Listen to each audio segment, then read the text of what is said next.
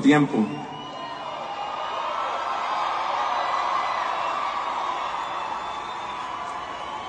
Me pude dar cuenta que para todos era alguien, pero yo no era nada sin él.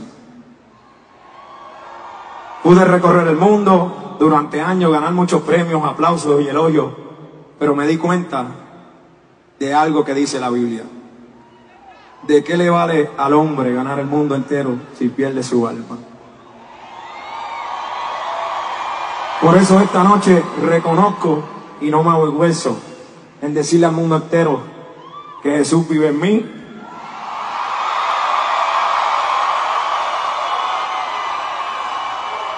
Y que yo viviré para Él.